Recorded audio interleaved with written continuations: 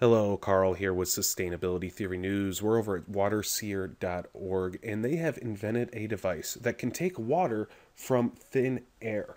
And we're going to go over to their Indiegogo page where they're trying to raise some funds, and I hope they get it. $77,000. They're trying to sell these things for about $138, which is a great price. A lot of people need clean water, and this is how it works.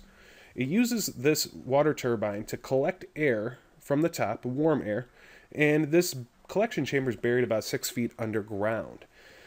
Now, the sides of this are metal, so they'll take the cool earth temperatures, around 55 degrees Fahrenheit, and allow the warm air to condensate on the side, and the water will drip down. They call it distilled water, but, you know, evaporated water, whatever you want to call it. It is clean, it's coming out of thin air. This will help a lot of desert communities. They say it could get up to 11 gallons a day, but I imagine that depends on how much wind and how much humidity is in the air.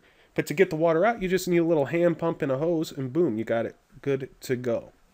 They talk about 9,000 people die every day from lack of clean water. And of course, desert environments where the system could be used, they're in need of clean water more than most.